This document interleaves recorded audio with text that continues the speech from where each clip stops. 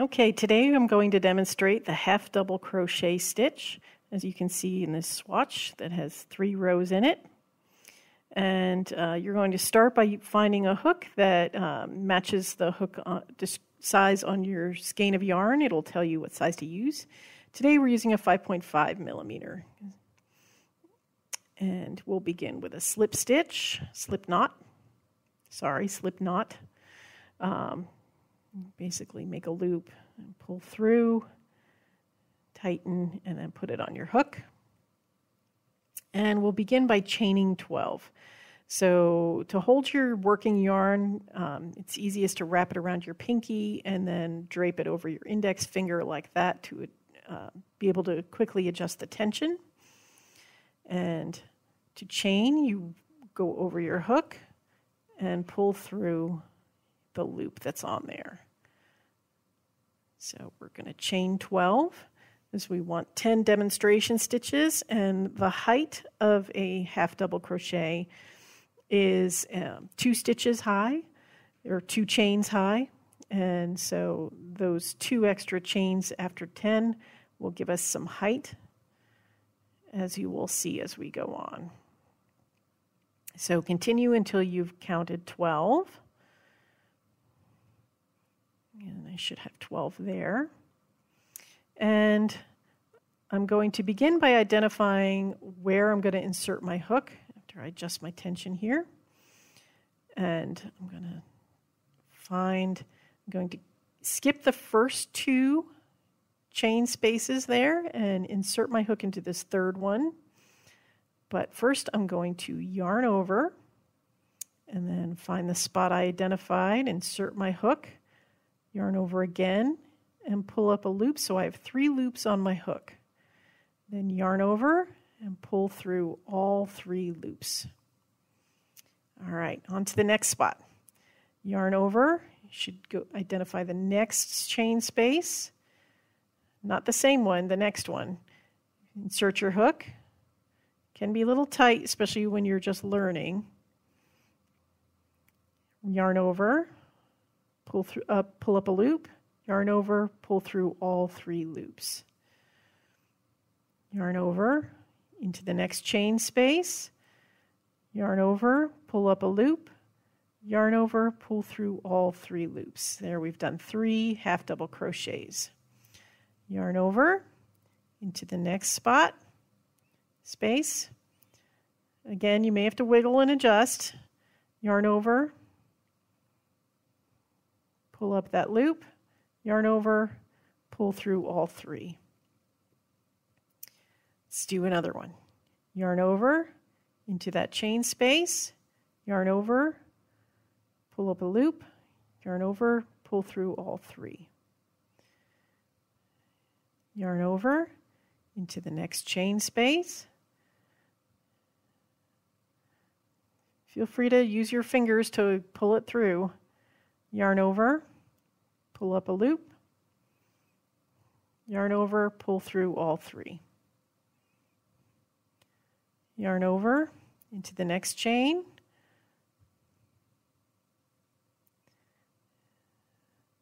Yarn over, pull up a loop, yarn over, pull through all three. Yarn over into the chain space, yarn over, pull up a loop, pull through all three loops.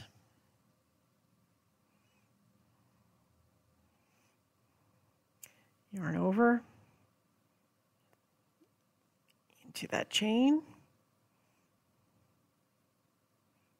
yarn over, pull up the third loop, yarn over, pull through all three. Let's count how many I have. Let's see, one, two, three, four, five, six, seven, eight, nine. I've got nine V's, that's nine stitches. So yarn over into this last one, the last one's always tight for me. Yarn over, pull up a loop, yarn over, pull through all three. And now we have 10 half double crochets, as you can see by counting 10 V's. So we're going to um, adjust our work and go back the other way. So to do that, we're going to just shift it around on your hook and we're going to chain two to give ourselves some height and so that we go up nice and straight and even. So chain two, and then you're going to insert your hook into that first V under both loops of the V after you've yarned over. So then yarn over again, pull through underneath both V's, yarn over and pull through all three loops. So the stitch is the same, it just looks a little different because you're under, going under both V's. Yarn over, under both V's of the stitch, yarn over, pull up a loop, yarn over, pull through all three. Yarn over, under the V, yarn over, pull up that third loop, yarn over, pull through all three. All right, see, looking nice and even. Yarn over into the next stitch, pull up the third loop, yarn over, pull through all three. There we go. Continuing on down the row. Sometimes the pattern will tell you that your chain twos at the ends may count as your first stitch. The pattern will be specific one way or the other, in which case you would skip that first stitch and work into the second stitch. But um, your pattern will tell you one way or the other, uh, so just pay attention to your pattern. Okay, yarn over, under the V, yarn over through all three loops. So we're going to work one more row after we finish this one. So let's see, I've got two left. Don't forget you to get that last stitch there. It can be a little tight. You may have to use your fingers to wiggle it through. Make sure you get both hoops on the on, on top of the hook there. Yarn over and pull through. Yarn over, pull through all three stitches. All three hoops. so now I have 10 half double crochets and I can chain two and work back the other way. So see one, two, and I'm going to yarn over and go into that first stitch.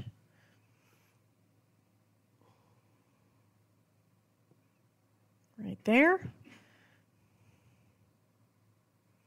Yarn over, pull up a loop, yarn over, pull through all three. And then I'm just going to continue going across. Um, this is just the basic half double crochet. It is uh, exactly in the middle between a single crochet and a double crochet.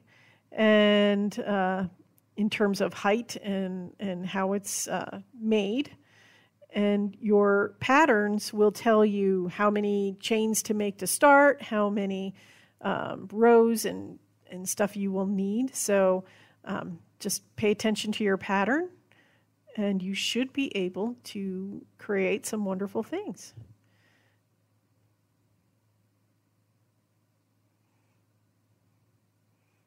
And let's see, I've got a couple more till I reach the end of my swatch here.